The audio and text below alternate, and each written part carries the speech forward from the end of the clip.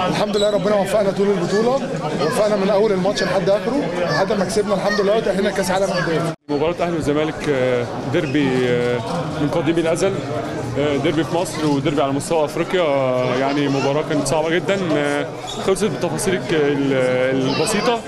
قدرنا الحمد لله إن إحنا يعني الحمد لله كان معانا توفيق.